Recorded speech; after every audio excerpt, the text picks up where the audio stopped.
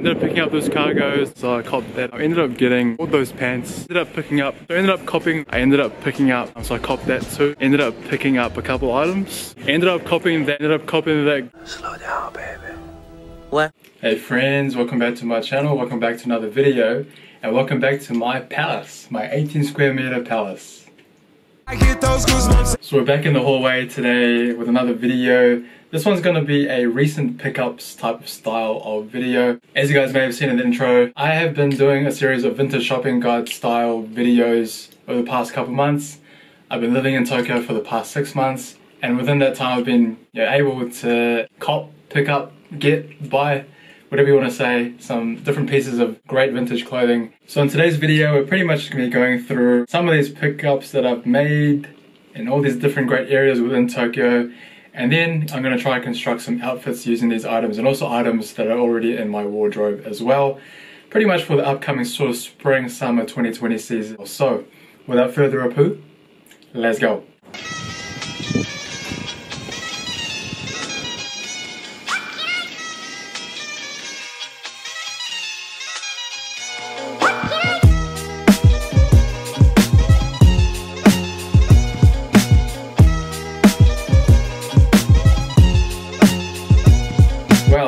Structure of this video will be I'll go through fit by fit. I start with the tops, bottoms, and finish off with the shoes and any sort of other accessories as well. So, let's go. Quite good, eh? Kinda good. Alright, first fits, starting with the top. We have this grey sweater. Episode 5, when I went back to Shimokitazawa for the second time, ended up picking up this bad boy from a shop called Brick. Right, so let's delve into the details, eh?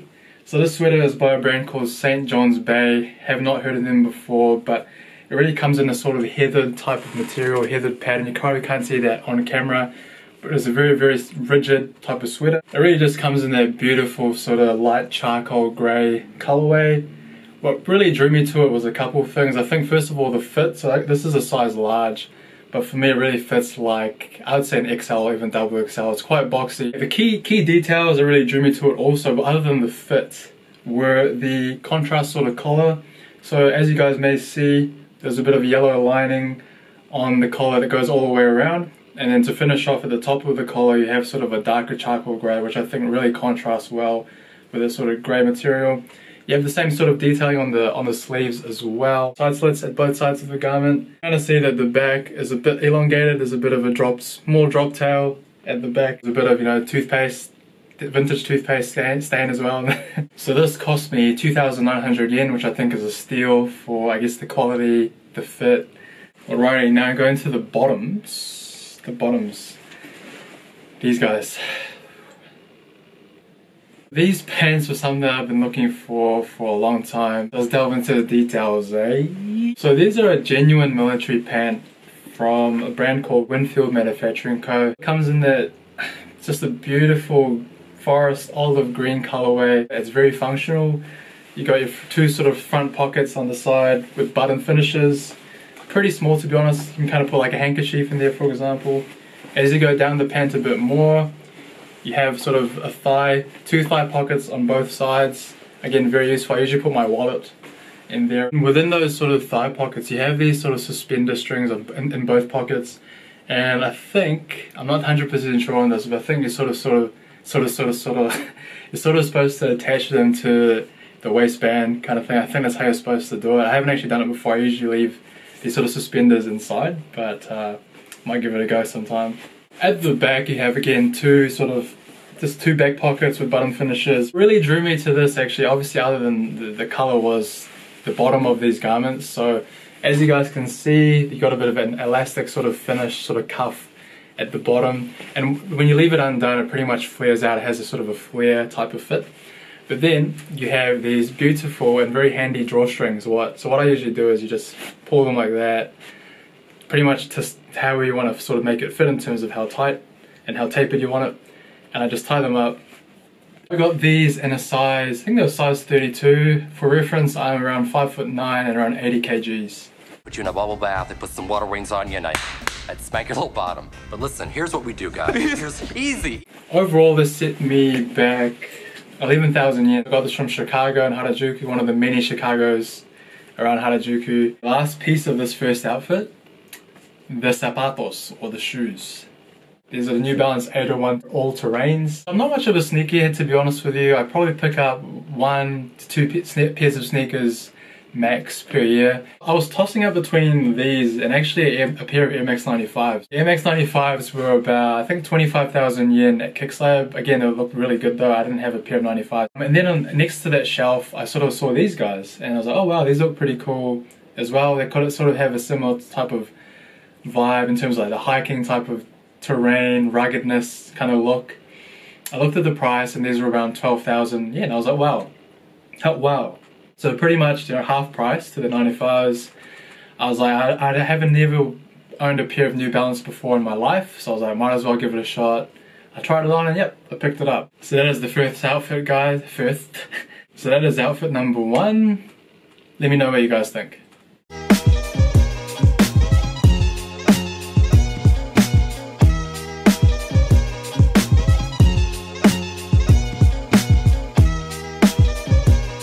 Next garment. So this is a sort of plaid button-up overshirt or shacket slash jacket with a bit of inside wool type lining. I got this from Shimokitazawa back in December. My second vintage episodes, vintage shopping guides episode, and let's delve into the details, eh? This is by a brand called Northcrest, size large, comes in that sort of beautiful sort of lumberjack, sort of green, plaid, tartan type of print all over the body. It's pretty much a button-up sort of plaid button-up, checkered button-up, but it is lined. It has some very nice padding inside as well, and as you can you can see, a bit of sort of fake fur type of Sherpa type effect there as well. Some other details you have the two front pockets on both sides, sort of button closure at, at, the, at the sleeves, at the end of the sleeves. Nothing on the back, just a plain back with that sort of beautiful checkered plaid design. Again, this is a quite a relatively heavy jacket than what it probably looks like on camera, so it's really perfect for keeping warm at the spring sort of summer nights. This sent me back around 4,000 yen, pretty good value.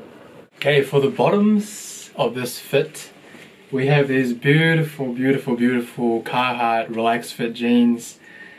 So let's delve into the details, eh? Well, I picked these bad boys up from a shop called The Apartment. These guys are based in Kichijoji definitely one of the coolest, coolest shops in Tokyo. So if you're ever in Kichijoji, definitely check the apartment out. It's a bit out of the way from all the sort of other vintage shops in Kichijoji, but definitely check it out. It's a very small hole in the wall place. So from my understanding, the apartment, it's not necessarily a vintage shop, but they do import all the stock directly from New York as well. They have a great relationship with some guys in New York. ASAP Ferg is always, I think, sometimes on the Instagram and wearing some of their stuff too. These guys are real gangster and they have their different Nike pieces, North Face, Carhartt as you can see, a lot of different items. I've been looking for just a really, a, a nice pair of relaxed fitted solid pair of jeans and these really pretty much fit the bill. So the way these fit, they actually fit probably the best fitting jeans I've ever had. So they sit perfectly above the waist they have a pretty relaxed sort of fit from the sort of that thigh up until your knee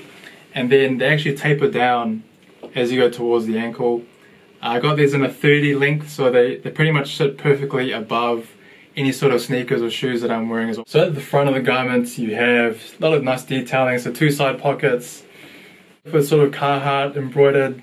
You got a Carhartt button on the fly right there. You got your typical sort of YKK YKK zipper on the zip fly as well. Signature sort of leather logo. These set me back around 9,000 yen. Definitely worth it. Carhartt Relax Fit jeans from the apartment. Let's go. Alright, for the shoes to finish off the fit, I have these beautiful, beautiful Doc Marten 1461s with the typical three eyelets, whatever you want to call it. I picked these up from a shop called Pat Menzies back home in Auckland, New Zealand. Pat Menzies is was one of the OG sort of sneaker and footwear places. I bought some Clark Desert boots from them. I bought some Vans from them. Definitely recommend if you're ever in Auckland looking for a decent pair of sneakers and just even formal shoes as well. Did you check out Pat Menzies. They're on Queen Street, the main street in Auckland. I was just looking for. I think I bought these sometime last year in 2019. I was pretty much looking for a black leather shoe, something of this sort of silhouette. So to be perfectly honest, it's probably not the most comfortable shoe especially I'm sure you guys have heard of the break-in period with these types of shoes with things that are really really tough leather. You buy them brand new. The first couple of times even a week that you wear them when you when the back of your foot hits the back of the shoe your skin kind of falls off and kind of grazes off. It hurts like hell um, but it's just part of you wearing the shoe in and it's definitely something to keep in mind when you buy this type of uh, type of footwear and, and, type of material. These set me back around I don't know 280 to 300 New Zealand dollars. No idea what that is in these this day and age because of Corona, but probably no over 200 plus US dollars. So not too bad. I think something different from the typical sort of Doc Marten 1460s or even sort of those high cut Doc Marten boots as well. Definitely a great alternative to that style. Versatile, sleek, it's a good man. So that is the next fit. Let me think. Let me think. Let me know what you guys think.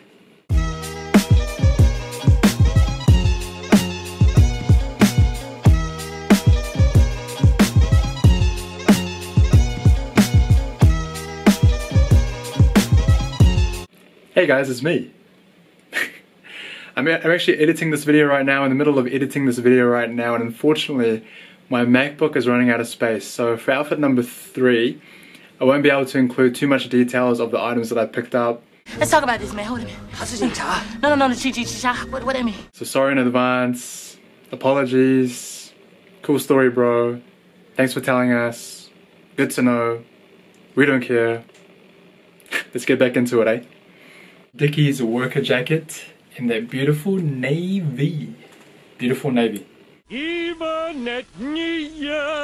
Hey, for the bottoms, I've got these beautiful vintage Dickies worker pants in a chocolate brown colorway. I picked these up in Kichijoji in episode 3 of my vintage shopping guides sort of series.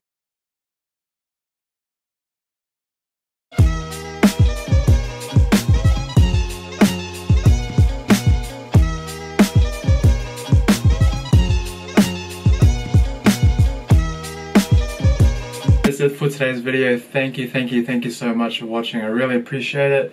That was pretty much an overview of some of my recent pickups that I've made over the past couple months here in Tokyo. And I guess a bit of outfit action. Thank you, thank you again, guys. I keep, I keep saying thank you. And you know, I'm not a professional YouTuber, obviously. I have a full-time job, luckily, uh, as a salaryman um, here in Tokyo and back when I was in New Zealand as well. And this is pretty much a hobby, you know, something that I really, really enjoy doing in terms of making content and kind of getting a bit better in front of the camera hopefully. Just given what's going on in the world right now I you know honestly YouTube and making content it's really keeping me sane. Really keeping me sane in, in terms of from a mental perspective from a from a physical perspective and you know whenever I because of that whenever I receive you know positive feedback and and and people say that they enjoy it, they find it informative and helpful and useful in some way, and even just watching it, and, and people taking the time out of the day to watch it, uh, just means the world to me and it's really keeping me going. I hope everyone is safe, hope your friends are safe, your families are safe, hope your countries are doing okay as well. Take care everyone, uh, thank you again for watching, I truly honestly just appreciate it to the world and back. Continue to stay positive, continue to celebrate your wins, and God bless. And uh, see you guys in the next next video. Looking forward to it. Cheers. And also, just want to wish my mum a happy birthday. Miss you mum, love you mum. Hope you had a great day. See you soon, huh?